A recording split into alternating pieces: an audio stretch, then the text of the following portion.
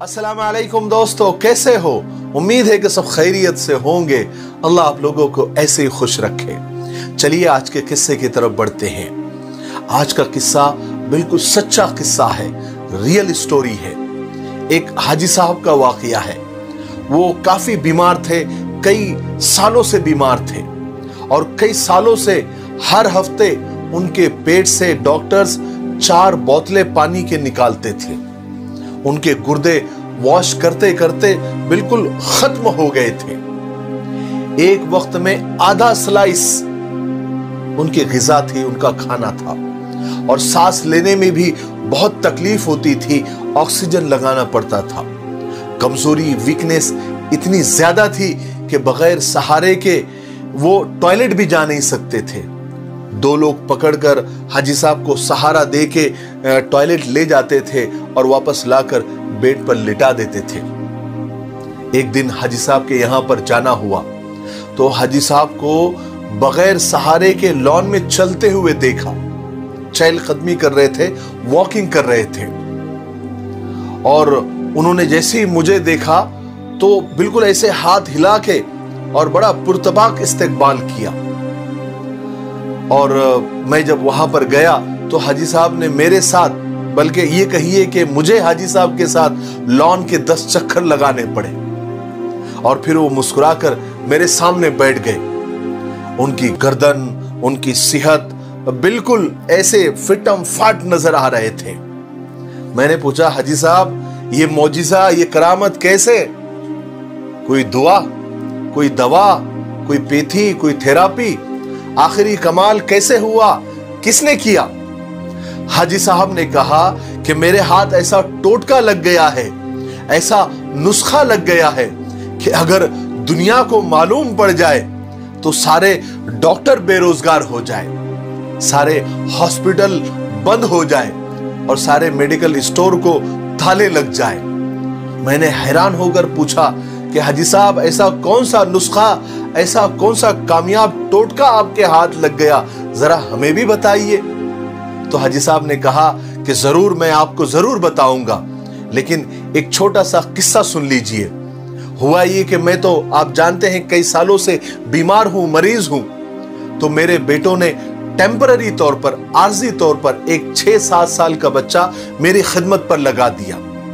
वो कई दिनों से मेरी खिदमत करता था। एक दिन मैंने बच्चे को बिठाकर पूछा कि बेटा, तुम्हारी ऐसी क्या मजबूरी है कि तुम्हें इस उम्र में मेरी खिदमत करनी पड़ रही है। तुम्हें ये नौकरी करनी पड़ रही है। हाजी साहब कहते हैं कि वो बच्चा पहले तो बहुत खामोश रहा, फिर सिस्किया लेकर रोने लग गया और रोते हुए बोलने लग गया कि, हाजी साहब, एक मर्तबा मैं घर से बाहर था। मेरे अम्मी, अब्बू, भाई, बहन सब सैलाब में बह गए। मेरे माल, मवेशी, मेरे पास जो भी बचा हुआ था, उस पर मेरे रिश्तेदारों ने कब्जा कर लिया। अब दुनिया में हाजी साहब मेरा कोई भी नहीं है। बस दो वक्त की रोटी के लिए और तन ढाकने के कपड़ों के लिए आपकी खिदमत करनी पड़ रही है, नौकरी करनी पड़ रही है। हाजी साहब कहते हैं कि बच्चे की ये कहानी सुनकर, ये दुख भरी दास्तान सुनकर मेरा दिल पसीज गया। मेरी आँखें डबडबा गई।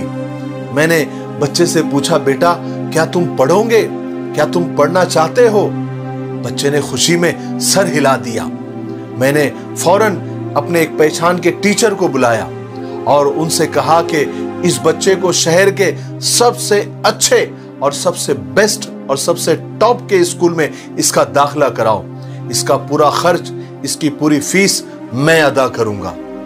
बस बच्चे का स्कूल में दाखला होना था कि उसकी दुआओं ने असर किया। कुदरत मेहरबान हो गई। और मैं आपको बताऊँ, तीन सालों के बाद मैंने पेट भरकर खाना खाया। ये देखकर मेरे सारे घर वाले और डॉक्टर हैरान थे कि ये करामत कैसे हो गई, ये करिश्मा कैसे हो गया। अगले रोज मैंने उस यतीम बच्चे का हॉस्टल में दाखला करवाया, उसकी फ़ीस भरी। फिर क्या था, बगैर सहारे के मैं टॉयलेट तक भी जाने लग गया।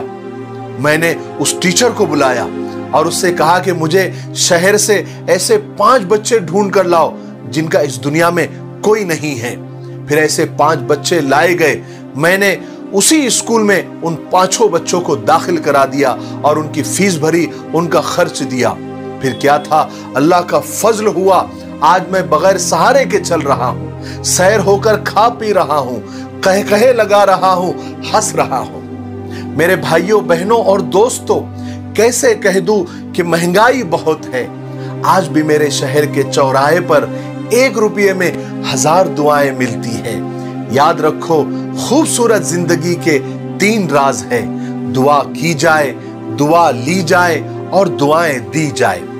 एक यतीम या किसी जरूरतमंद या मोहताज की मदद करके तो देखो, आपको पता चल जाएगा कि इस महँगाई के दौर में भी दुआएँ आज भी बहुत सस्ती है।